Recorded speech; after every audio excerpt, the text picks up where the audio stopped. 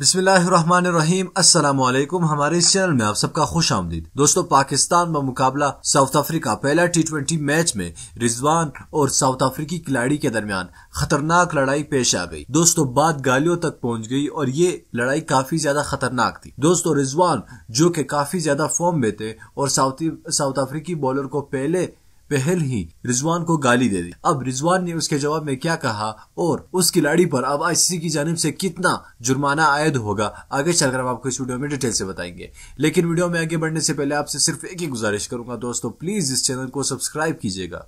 दोस्तों, साथ में इस वीडियो को भी लाइक कीजिएगा और नीचे कॉमेंट बॉक्स में रिजवान और इस खिलाड़ी के लड़ाई के हवाले से हमें अपने राय का इजहार दीजिएगा।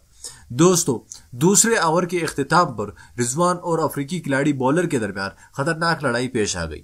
दोस्तों, जब रिजवान ने उसको ज़बरदस्त चौका रसीद किया, तब वो बॉलर अपने होश पर काबू ना रख सका और रिजवान को गाली दे दी।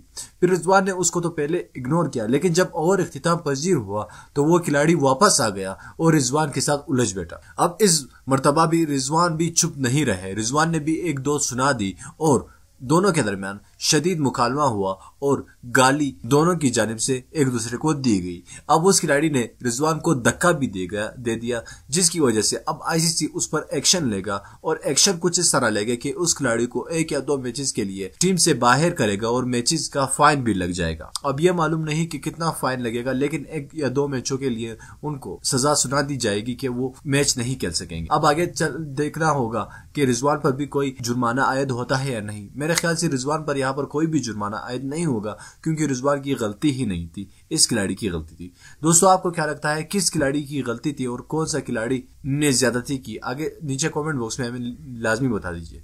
इस वीडियो को लाइक कीजिएगा चैनल को हमारे ज़रूर सब्सक्राइब कीजिए।